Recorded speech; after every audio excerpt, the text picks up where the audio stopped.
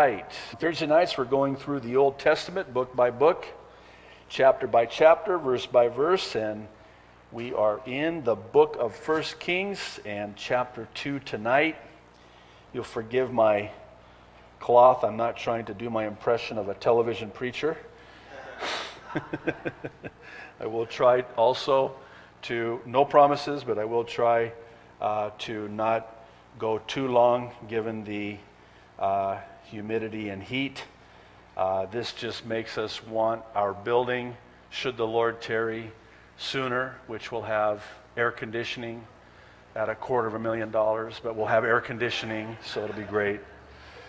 Um, last week in chapter 1, we left David on his deathbed, and the last thing he needed on his deathbed was to have to deal with yet another one of his sons launching a rebellion against him.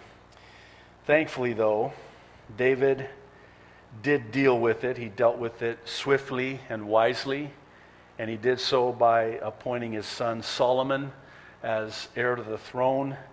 And he did so knowing that he wasn't going to live very much longer. Indeed, he will uh, die tonight. I'm sorry to say. I'll have to say it that way. I have not been looking forward to chapter 2.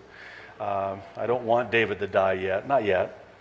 Um, Adonijah is the uh, son that has launched the rebellion, and at the end of chapter 1, we saw him on the receiving end of Solomon's mercy. Uh, Solomon was very gracious, very merciful to him, uh, did not put him to death for his rebellion, though he could have justifiably. Uh, but tonight uh, we're going to see him. This is a spoiler alert. uh, he will, in fact, try it again as we get towards the end of the chapter. So before we jump in, let's pray. We'll ask God's blessing on our time in His Word tonight. Lord, thank you so much for your Word and thank you for this chapter that we have open before us in our Bibles tonight. Lord, it's with great anticipation that we look forward to that which you have here for us, the lessons we can learn, the personal application to our lives that we can take home with us from this study, this time in your word. Lord, now as we begin our study of this chapter, would you really speak through your word? Into our lives and do so clearly, Lord. We want to not only be hearers of your word, we want to be doers as well. So, Lord, speak. Your servants are listening. In Jesus' name, amen. All right, let's jump in. Verse 1. Now, the days of David drew near that he should die. And he charged Solomon his son, saying, verse 2 I go the way of all the earth. Be strong, therefore, and prove yourself a man. And verse 3 Keep the charge of the Lord your God, to walk in his ways, to keep his statutes, his commandments, his judgments, and his testimonies, as it is written in the law of Moses, that you may prosper in all that you do and wherever you turn, that the Lord may fulfill his word which he spoke concerning me, saying, If your sons take heed to their way, to walk before me in truth with all their heart and with all their soul, he said, You shall not lack a man on the throne of Israel. David is referring to the promise that God gave him that he would be the one from whom the Savior of the world would come, from his lineage, from his throne. What we have recorded here are David's last words to his son Solomon. And actually, we won't take the time to look at it tonight, but in First Chronicles chapter 28 and 29, we're provided with much more of a detailed account of what David's final words were to his son. Now, in our culture, this is not very well uh, understood because uh, we don't really understand what it was like, and even to this day, how important it was that before the father died, he would give the blessing to his son. Uh, think uh, uh, Esau and how he sold his birthright, that blessing, to Jacob, who sort of conned him out of it. Didn't need to. Jacob would be the one whom God would bless indeed, but dad Isaac wanted to bless Esau, and it was thwarted, and Jacob ended up getting the blessing. The narrative in 1 Chronicles 28 and 29 is more detailed, and it needs to be because of the importance of this. And it's sort of a parallel account uh, of the one that we have here in 1 Kings. And by the way, this is, if it's of any consolation, this means that we're still going to have David in the picture after his death, if for no other reason, because we're going to be studying these parallel passages and accounts.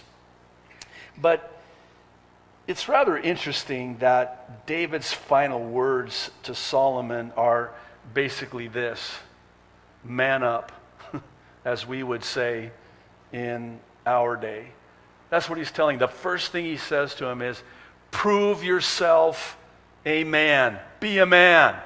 Be a man. And prove that you're a man. That's the key word. Now, it's important to understand that Solomon is believed to be only about 16 years old right now. Now, think about that. David's probably about 70, it's believed, but this son, Solomon, who is now going to be heir to the throne, is only a teenager, if you think about it, which in some way might explain why David would say what he says. He's telling his teenage son to be a man and prove himself a man. And here's the thing he's also telling him how how to be a man and how to prove that he's a man. How? Well, by keeping God's charge, walking in God's ways, keeping God's statutes, God's commandments, God's judgments, and God's testimonies. That's how. Solomon, be a man, and here's how. Did you catch that? Isn't that interesting? The gauge by which one can measure a real man is by how godly and obedient that man is to the commands of God. Simply put. In other words, what David is saying is that a real man is a godly man. And he knows that this is exactly what Solomon will need to be a godly man a real man. You know what's sad? Solomon will not heed this advice. And the result will be that he'll have to learn this the hard way. And he will not learn this until he's at the end of his own life. In Ecclesiastes, the 12th chapter, verses 13 and 14, he writes of this at the end of his life. He says, verse 13, let us hear the conclusion of the whole matter. Here's the wisest man, supernaturally so, who ever lived. And the richest man, supernaturally so, who ever lived. And he comes to the end of his life. He has done everything you could possibly imagine. Nothing was withheld from him. Whatever he wanted, he had. And he comes to the end of his life, and what does he say?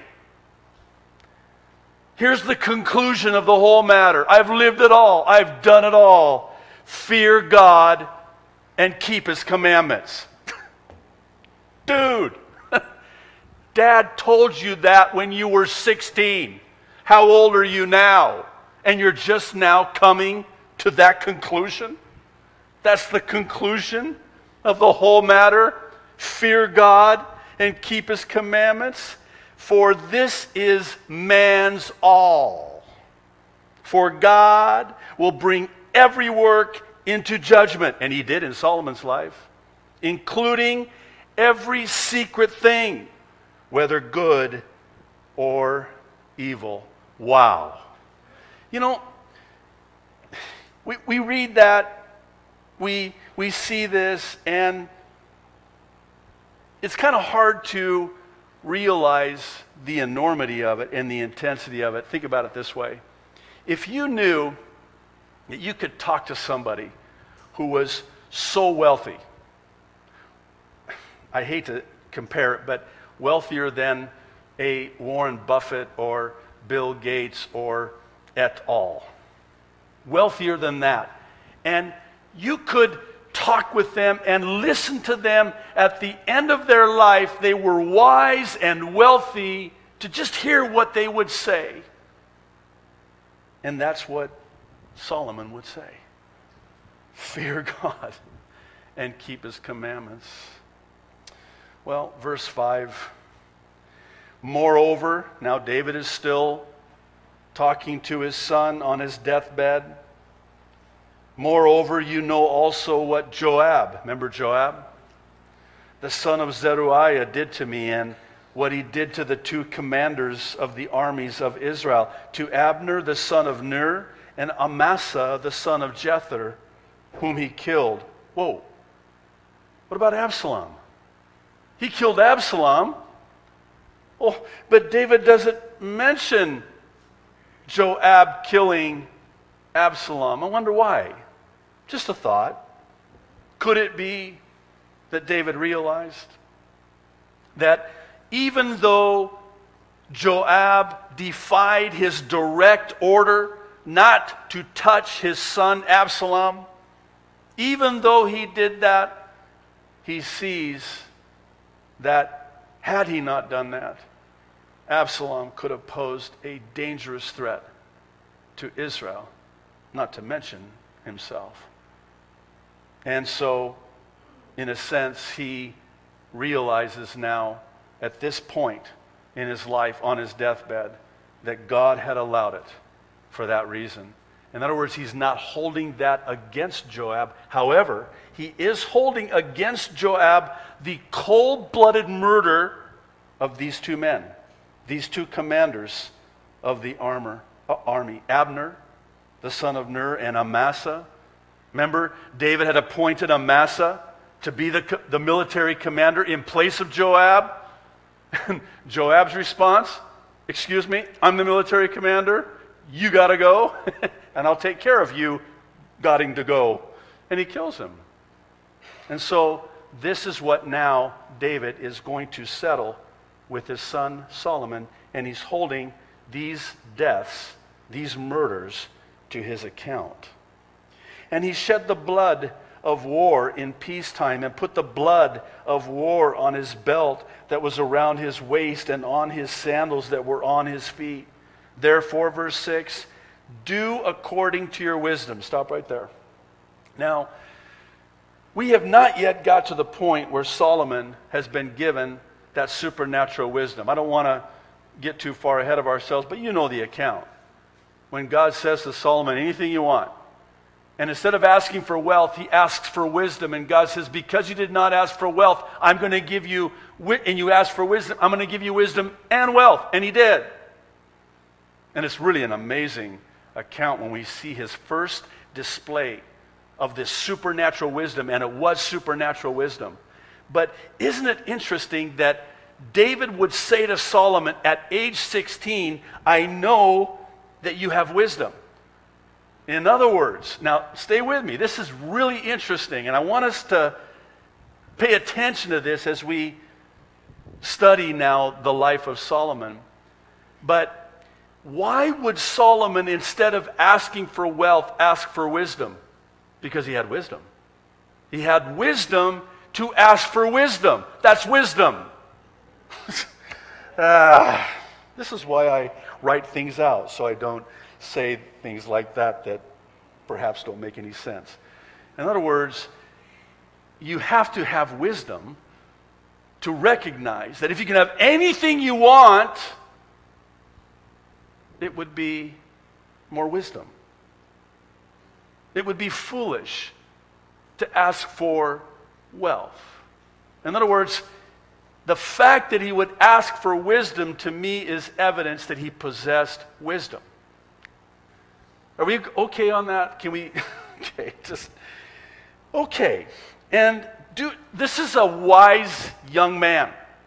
This is a wise young man. And do not, now he's speaking of Joab, listen, do not let his gray hair go down to the grave in peace. But, verse 7, show kindness to the sons of Barzillai, the Gileadite. Remember him? When David was fleeing Jerusalem because of Absalom, and he's on the way, and we're told that they were weeping bitterly as they went to run out of Jerusalem to spare the people of the bloodshed that would ensue had they remained. And here comes this Gileadite, not an Israelite, a Gileadite. And this Gileadite helps David. Let me tell you something. In the Arab culture today, my, my culture, and in the Hebrew culture, when you do something for somebody like this, they'll never forget them. They're loyal for the rest of their lives until death. They will never forget it. The ancient Arab people were a nomadic people. They would travel great distances for long periods of time.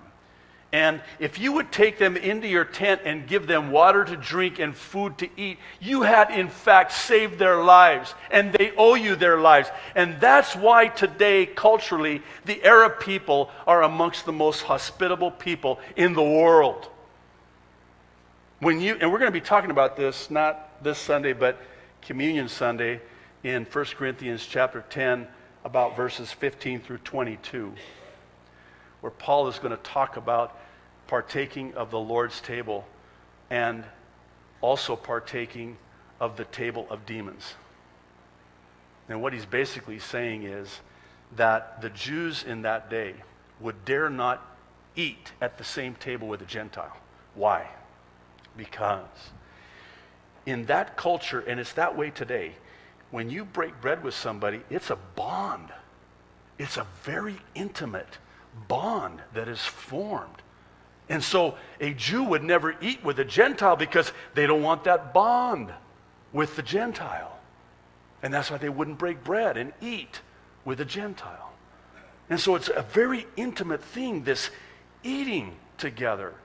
And in fact, when you take an Arab in and you feed them and they eat from your table and break bread together with you, they're loyal for the rest of their lives. So, what this Barzillai, the Gileadite, did, he basically saved David's life and all of those that were with him. He was a very wealthy man and he fed them. And listen to what he says and let them be among those who eat at your table. In other words, they fed us, they gave us food to eat, water to drink. For so they came to me when I fled from Absalom, your brother. Verse 8 and see. Now, there's, this is the third one now that David is telling Solomon that he has to deal with. So, first was Joab, then Barzillai, and now you have with you, verse 8, Shimei. Remember him? This was the guy that, when David was fleeing, he cursed him, threw rocks at him, kicked up dust at him, accused him falsely of having blood on his hands and overtaking the throne from Saul, which he never did. In fact, he did the opposite. He could have twice taken Saul's life, didn't, spared his life. Shimei is accusing him because, interesting, we're told Shimei, the son of Gera, a Benjamite, from Bahurim. Ah, Saul was a, a Benjamite. He was from the tribe of Benjamin. See, this guy had self interest. Who cursed me with a malicious curse in the day when I went to Mahanaim. Notice the contrast between Shimei, who cursed him, and this Barzillai who fed him and helped him. But he came down, speaking of Shimei, to meet me at the Jordan, and I swore to him by the Lord, saying, Now, this is on the way back. Remember on the way back when Absalom was killed and David is returning to Jerusalem to take his rightful place back on the throne, as God would have it, and as God would have had it all along? And the Shimei catches wind. Uh oh. I just got done cursing David, and now he's going to, and Absalom is, and I'm dead. I'm dead. And he begs for his life. And David, in the, I'm going to say the heat of the moment, just the emotion of the moment. And, and he tells his men who are saying, David, you just say the word, and I will give you his head. Just say the word. And they're wanting, they're just, I could just picture them with their sword as this Shimei is going, oh, oh, now you're sorry. You know, kind of like here's Shimei and here, you know, here's David going back. And I was just kidding. Can't you take a joke? Oh, my king. Oh, please don't. And they're like, just say the word. David says, you know what? No. There's been enough bloodshed. How many thousands of men died because of Absalom's rebellion? There's been enough bloodshed. No. I'm going to spare his life. And so now we've got to deal with this. There has to be justice now. And so he says, Now therefore, verse 9, do not hold him guiltless.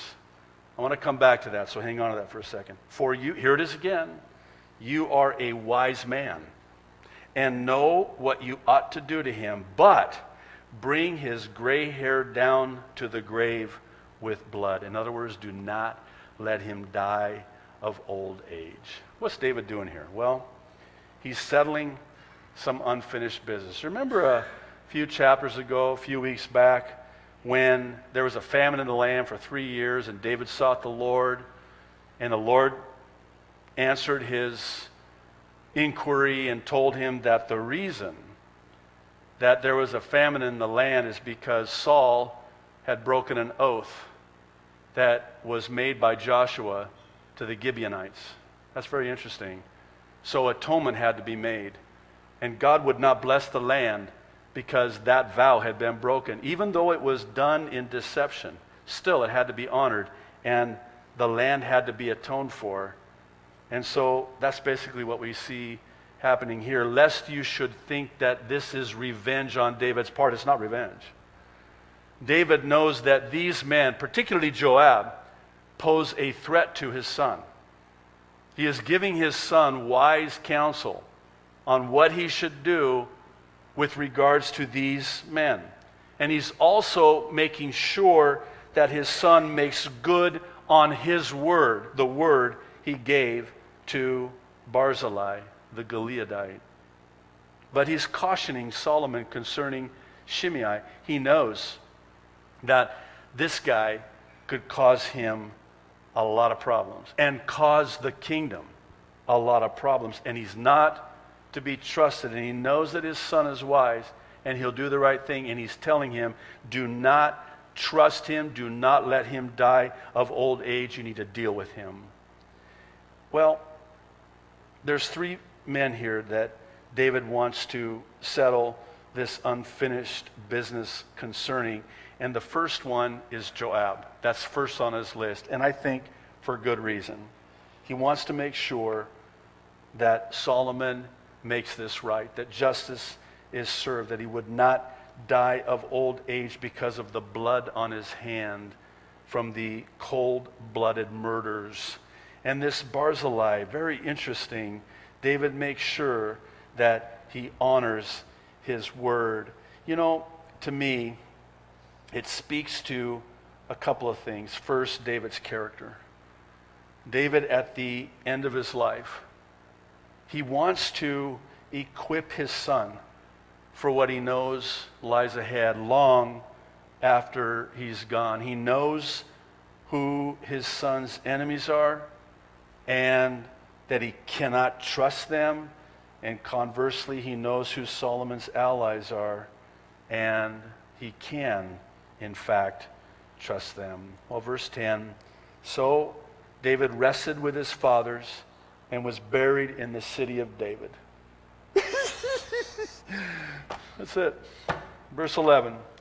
The period that David reigned over Israel was 40 years. Seven years he reigned in Hebron, and in Jerusalem he reigned 33 years, which means that, very interesting, because David, in a lot of ways, is a type of Christ. That he started his reign at the age of 30. That was how old Jesus, the greater than David, the son of David, was when he started his public ministry. Well, it's a little bit astonishing to me, actually, that David's death is mentioned in just a couple of verses. Just, just in passing, and that, that's it, and he dies. I mean, wouldn't you think that more would be written about this man? I mean, isn't this David, Israel's greatest king? Isn't this David, the man after God's own heart? Isn't this David, the sweet psalmist of Israel? And that's all? You would think that more would be devoted in writing, in recording of this man's death. But no. There are others heretofore that we've seen, and much was written about their death, and even the mourning because of their death, but not David. That's all we read. And then after this, as we're about to see, Solomon's going to do what his father had told him to do. He's going to take care of business, and he's going to clean house. There's no mourning, there's no I'm mourning. this is, I, I don't, I, I need some time with this. I've been trying to prepare myself for this. I mean, I love David. This is, this is a man that I could follow. This is a man that could be my leader and my example. I like this man. I can't wait to meet this man, and I will, and so will you. So, the question remains why isn't more written about his death? Here's my thought that's not who David was, nor is that what David would have wanted. To David's credit, he was merely a man. He was never one to exalt himself, and he was certainly not one to allow others to put him on a pedestal, as it were. For pastors, this is a good example. Because as pastors, this is what happens.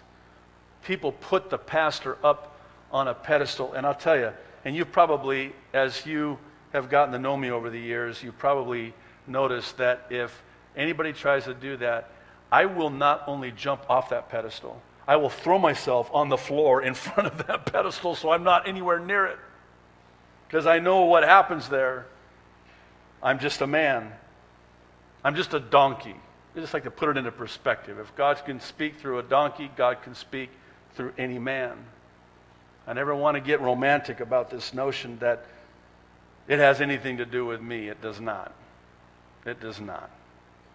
I mean, this is what every pastor should emulate. I like what Alan Redpath says. He says he was a shepherd a soldier, an outlaw. We don't like to think of him like that. He was. he was a murderer, an adulterer, a king, a fugitive. For a long time, he was a fugitive. A sinner, a saint, a poet. His experiences were the writing of God on his life, making him into a man after God's own heart. Alan Red, or, uh, Adam Clarke has this to say. He says, In general, he lived well. And it is most evident that he died well and as a king, a general, a poet, a father. Think about this. He was a, maybe not the best father. We see that with his kids, but he was a father. And again, to his credit, he's doing the right thing. in taking this time to prepare his son, Solomon, for that which lies ahead for him, a father and a friend, he has had few equals and no superior from his own time to the present day. I suppose you could say there's not another David. There was only one David. And this was a man who had a heart after God's own heart. Verse 12. Then Solomon sat on the throne of his father David, and his kingdom was firmly established. Not because of Solomon, but because of God's covenant and promise to his father David. You know, Solomon, he's going to take the throne, it's going to be firmly established, but his reign will be riddled with disobedient idolatry. That's what we're going to be talking about this Sunday. In verse 14 of 1 Corinthians 10, the Apostle Paul says to the Corinthians, Flee idolatry. Flee idolatry. We're going to talk about idolatry in the life of a Christian. We're going to get to know Solomon, and what we're going to find is that he is not his father. He is not like his father David. And in spite of the fact, and this is probably one of the most difficult things to wrap your mind around. In spite of the fact that he possessed such wealth and supernatural wisdom, that in fact may have been his downfall. His wealth and his many wives will end up taking him away from the Lord. He'll start serving other gods until the end of his life when he finally realizes that all was vanity. It was all empty. G. Campbell Morgan of this said, with Solomon began, in some senses, the most splendid period in Israel's history. Surely it was the grand and glorious building of the temple. The splendor, however, was largely mental and material. The spiritual is noticeably absent. You know what's noticeably absent? There's nowhere where we ever are told that Solomon, like his father, had a heart after God's own heart. There's never, there are no Psalms in the entirety of that amazing and wonderful book, not one Psalm, not one. There's only the practical Proverbs because of, not him, the supernatural wisdom that God gave him. It was mental, it was material, but it was not spiritual. Listen, here's the thing you could caption Solomon's life this way What shall it profit a man? What shall it profit a man if he gains the whole world? Has all the wealth and the wisdom that you could possibly imagine in this world and lose his own soul. If you don't have the spiritual to go with it, of course it's vanity. Of course it's empty. Of course it's unfulfilling. Of course it's unsatisfying. And that was Solomon's life. Well, verse 13 here comes Adonijah. the son of Haggith, came to Bathsheba, the mother of Solomon. This is not his mother. His mother was the mother of Absalom. This is Absalom's younger brother. So she said, This is interesting. Do you come peaceably? In other words, what do you want? I don't trust you. What are you doing here? Do you come peaceably? And he said, Peaceably. yeah, right. Moreover, verse 14, he said, I have something to say to you. And she said, Say it. Then he said, verse 15, You know that the kingdom was mine. And all Israel had set their expectations on me that I should reign. That's not true. However, the kingdom has been turned over and has become my brother, speaking of Solomon, for it was his from the Lord. Oh, yeah. Verse 16 Now I ask one petition of you, do not deny me. And she said, Say it. Then he said, verse 17, Please speak to King Solomon, for he will not refuse you, that he may give me Abishag, the Shunammite, as wife. Remember, remember her? David is stricken in years.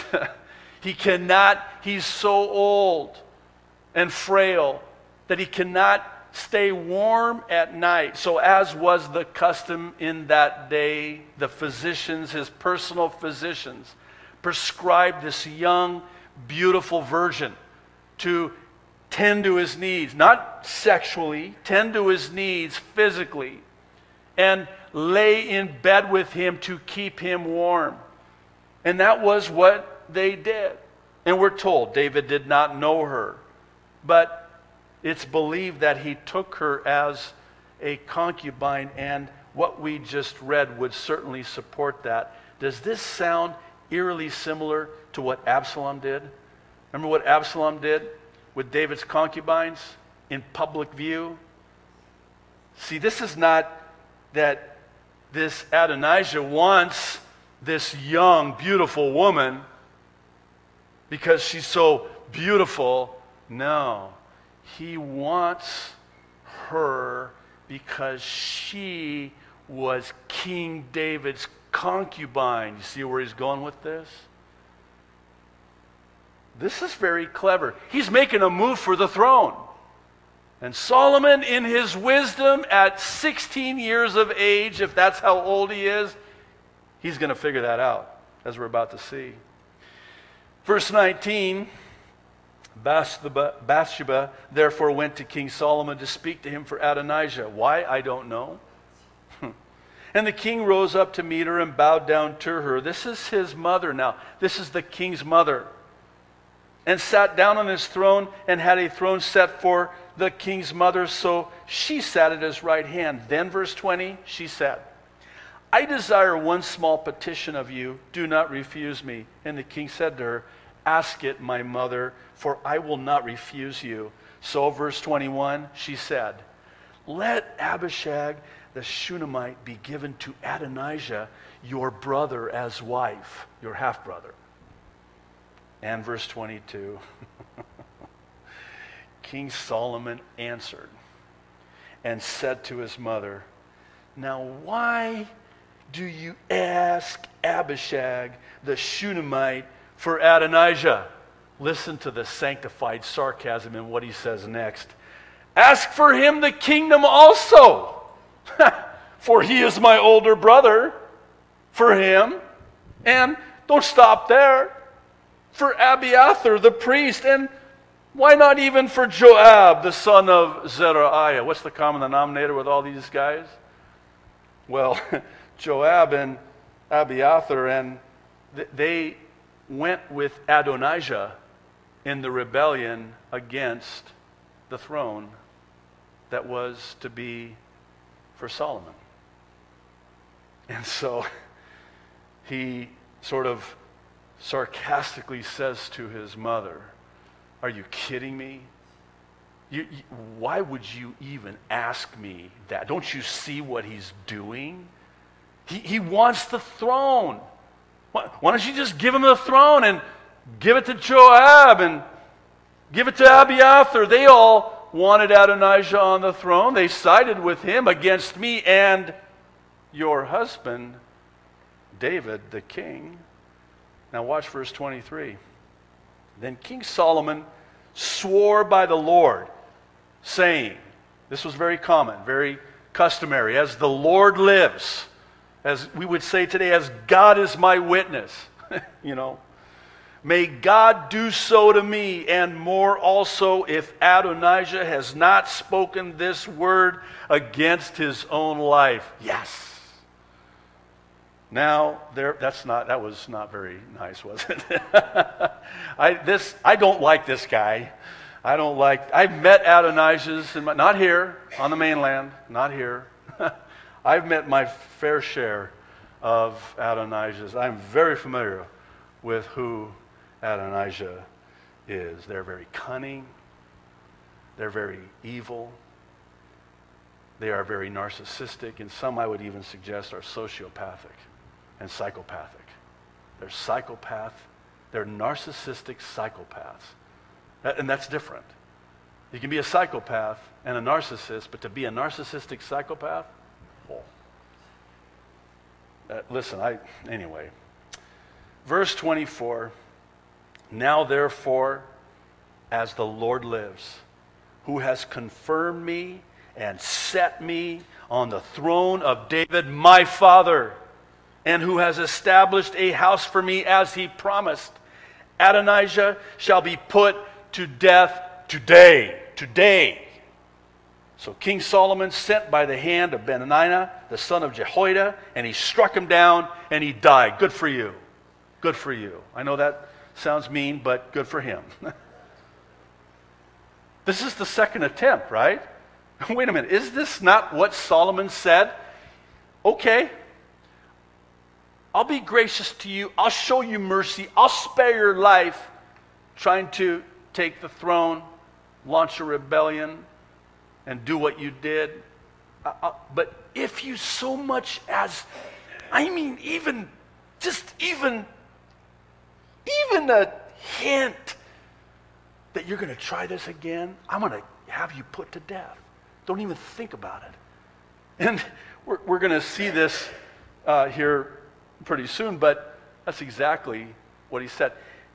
Now, stay with me on this because you would think that after Adonijah had been shown such mercy, I mean, think about it. He, his life was spared. He could have been put to death right then and there. And he wasn't. And Solomon spared his life. You would think he would be so grateful, he wouldn't even so much as ever think about it again. Why would he do this? Why in the world would he try this a second time, knowing that it could mean certain death? I have a thought. Here it is. I believe that Adonijah, who's the older brother, how much older? I don't know but older than Solomon. And as such, he thought he could actually pull it off because Solomon's just a kid. He's just my baby kid half brother. He's only a teenager. He's only a youth. Reminds me of what the Apostle Paul said to Timothy in his first epistle. Here's this young pastor and he's being intimidated because he's young. And what does Paul say? Let no one despise your youth, but be an example to the believers in word, in conduct, in love, in spirit, in faith, in purity. Verse 26 And to Abiathar the priest, the king said, Go to Anathoth, to your own fields, for you are deserving of death. But and this is interesting. I will not put you to death at this time. And here's why.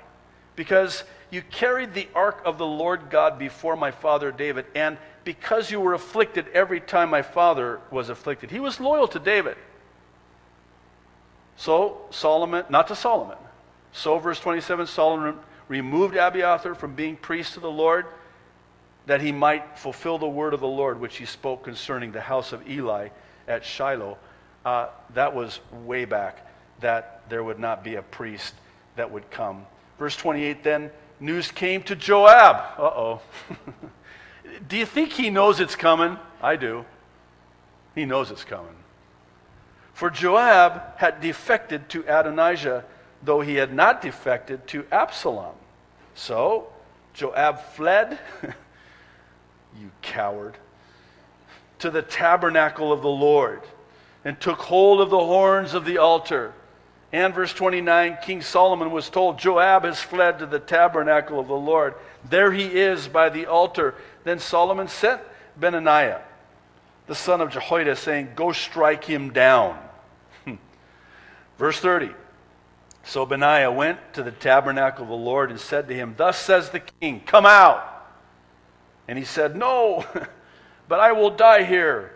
And Benaiah brought back word to the king, saying, Thus said Joab, and thus he answered me. Then, verse 31, the king said to him, Do as he has said, and strike him down and bury him, that you may take away from me, and listen to this, and from the house of my father the innocent blood which Joab shed. This is justified. This is just. This is because of what he, the shedding of innocent blood, which is again what Saul did in breaking the oath that Joshua had made with the Gibeonites. Innocent blood was shed and atonement had to be made. This is just. This is not arbitrary. This is not revenge. So, verse 32 the Lord will return his blood on his head because he struck down two men more righteous and better than he. Again, Absalom is not mentioned. And killed them with the sword. Abner, the son of Ner, the commander of the army of Israel, and Amasa, the son of Jether, the commander of the army of Judah, though my father David did not know it.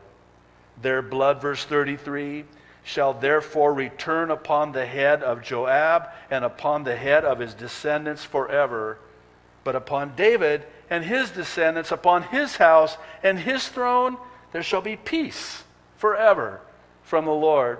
So, verse 34 Benaiah, the son of Jehoiada, went up and struck and killed him, and he was buried in his own house in the wilderness.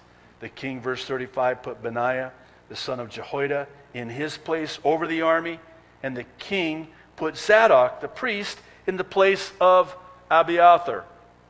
Then, verse 36, the king sent and called for Shimei. This one is even better than Joab. I can't wait for this one, okay? And said to him, Build yourself a house in Jerusalem and dwell there, and do not go out from there anywhere. He's going to give him a chance. I, I, in some ways, you might almost say that he's just going to give him enough rope to hang himself.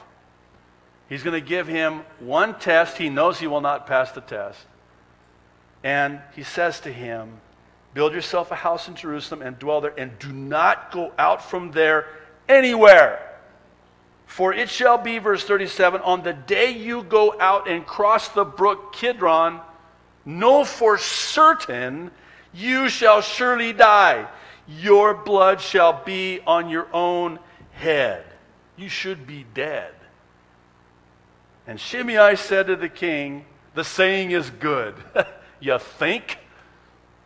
You just got your life spared again. Not for long. the saying is good, as my lord the king has said, so your servant will do. so Shimei dwelt in Jerusalem many days. Now, verse 39.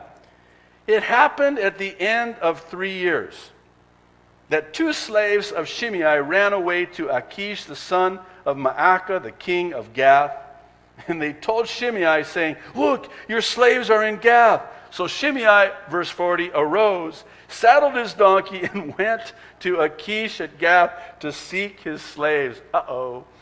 And Shimei went and brought his slaves from Gath, and Solomon was told that Shimei had gone from Jerusalem to Gath and had come back. Okay. Then the king, oh, this is good sent and called for Shimei and said to him, uh, Excuse me, that's not in the original, but that's, I'm just going to put that in there. Excuse me. Did I not make you swear by the Lord and warn you, saying, Know for a certain that on the day you go out and travel anywhere, you shall surely die? And you said to me, The word I have heard is good. Why, verse 43 then, have you not kept the oath of the Lord and the commandment that I gave you? He cannot say, I forgot. This is deliberate. I don't know how clear you can be. And I don't care that it's been, th- oh, wow, that was so long ago. I, I forgot. I'll tell you why you didn't forget. Because you'll never forget when someone spares your life. You don't forget things like that. You can forget what you had for breakfast the other week, but you don't forget when someone spared your life. you can forget the, the, sermon the pastor preached. I know not you, other uh, you know people in other churches. They forget the sermon the pastor preached, but you don't forget when somebody saves your life or spares your. He cannot say that, and he doesn't. Verse forty-four. The king said, moreover, to Shimei, You know, as your heart acknowledges, all the wickedness that you did to my father David. There, and by the way, when he cursed David, that was a capital crime. And that's back in Exodus. That if you curse the king, you shall be put to death. It was, man, that's a deterrent. that's a, we, you know, I, we could use some of that in this day and age. Wouldn't you agree? Yeah. I, I never forget, it was a while back, and I know I'm digressing, but just hang in there with me. Um, it was a while back when, I think it was in, might have been Japan or it was, I forget where it was, but a young teenager had, um, was tagging, you know, graffiti. Uh, was, uh, you know, doing graffiti on a, a building.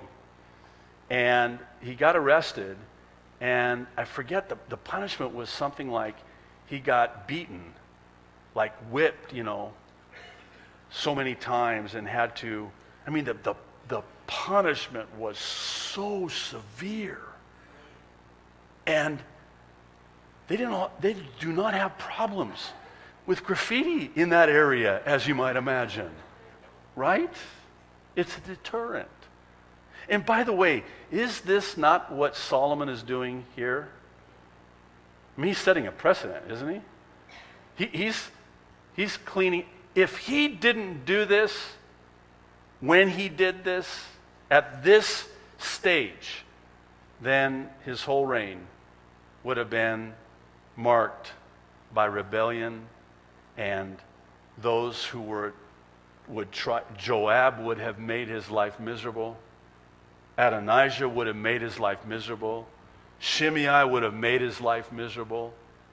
And they would have all they would not have had respect. There was a reverent fear, you might say. This was a deterrent. Oh, this guy means business. This guy means this is not just any old 16-year-old that is taking the throne from his father. This, this guy means business. And it would set a precedent for his entire reign. This guy means business. Well, verse 45 But King Solomon shall be blessed. He's just basically pronounced this curse on Shimei for what he did to his father, a crime punishable by death. But verse 45 King Solomon shall be blessed, and the throne of David shall be established before the Lord forever, and it will. So the king commanded Benaiah, the son of Jehoiada, and he went out and struck him down, and he died. Thus the kingdom was established in the hand of Solomon. Kind of a bloody start to his reign, but it really needed to be. But I don't know if you noticed throughout this whole ordeal that there was this common denominator with all that Solomon did here. And what I'm speaking of is, and you see it there on the screen, is he erred on the side of grace. He could have very justifiably put Joab to death immediately. He could have very justifiably put Shimei to death immediately, but he didn't. He erred on the side of grace in his dealings. And maybe this is one takeaway along with maybe many takeaways, such that in our dealings with people, you can never go wrong by erring on the side of grace. You can never go wrong. I never regret in all of my years, especially in ministry, I never regret erring on the side of grace. And here's a young man. And again, to David's credit, these final parting words to his son. You know, the last words to my from my father, which I didn't realize it at the time. My wife and I, this is 1994, August 14th. I'll never forget it. August 13th was a Saturday night. My wife and I were on our way to church prayer. We had our meetings on Saturday night, our prayer meetings. This is before kids. we had time then to go to prayer meetings. And um, my dad was in the hospital, and I stopped by to see him, and I did not know that would be the last time I would see my father alive. And as I was leaving, he said to me, Son, I am proud of you. I love you, and God bless you. I didn't realize it at the time, but I had just gotten the blessing from my father, as was the custom in that day. And, you know, my life has been very blessed. And one of the things I'm trying to impart to my sons is that the one thing you can do above anything else is honor your father and your mother. It's the only commandment that has a blessing attached to it. So that the days upon the land which the Lord thy God giveth thee may be long and blessed and fulfilled. I memorized that commandment. My parents made me. But anyway, I can still, uh, to this day, uh, recite that uh, commandment. And I'll tell you, Solomon was blessed because he honored his father.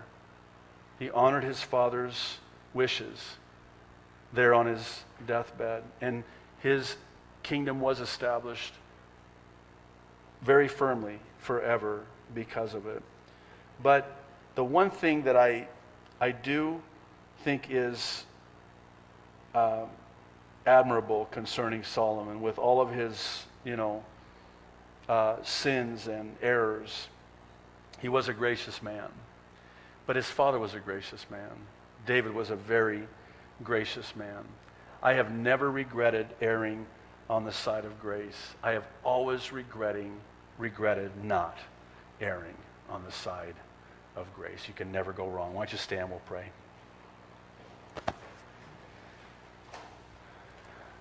Lord, thank you so much. Kind of a gnarly chapter again, and we're off to a sort of a bloody start, but I'm kind of glad we got that out of the way now. We can kind of move on, and Joab's out of the picture, and Adonijah's out of the picture, and Shimei's out of the picture, and, and rightfully so. Lord, there's so much that we can learn from this account that we have, and really this book and all that follows. So, Lord, again, thank you so much for your word. And Lord, just enable us by the Holy Spirit to take home with us a truth, an applicable truth that we can apply to our lives. We pray. In Jesus' name, amen.